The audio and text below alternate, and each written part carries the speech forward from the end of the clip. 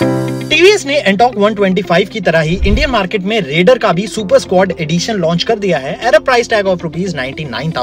one rupees एक showroom Delhi ये company ने इंट्रोड्यूस किया है अपनी रीच को बढ़ाने के लिए एमंग द यंग बायर्स ये जो नया सुपर स्क्वाड एडिशन है, ये इंस्पायर्ड है मार्वल के हीरो से, जैसे कि ब्लैक पैंथर और आयरन मैन तो जैसे की आपने एंटॉर्क 125 में वो कॉस्मेटिक चेंजेस देखे होंगे ग्राफिक्स देखे होंगे iron man captain America black panther के, वैसे ही आपको ग्राफिक्स अब टीवीएस की रेडर पे भी देखने को मिलेंगे। इसके अलावा कुछ भी इस मोटरसाइकिल में चेंज नहीं है, ना कोई मैकेनिकल चेंज है, ना कोई कॉस्मेटिक चेंज है। This motorcycle continues to derive power from a 124.8 CC single cylinder air cool fuel injected engine जो प्रोड्यूस करता है 11.2 bhp का पार और 11.2 nm का पीक टॉक यहाँ पे आपको 5 स्पीड का गियर बॉक्स मिल जाता है। अभी जो रेडर इंडिया में बेची जा रही है, इसका स्टार्टिंग प्राइस है ninety three thousand seven hundred rupees ex showroom Delhi for the base drum trim और इसका जो top of the line model है, उसका प्राइस है 1.07 लाख एक्स शोरूम दिल्ली और इसके टॉप स्पेक वेरिएंट के अंदर आपको ब्लूटूथ कनेक्टिविटी ऑप्शन भी देखने को मिल जाता है।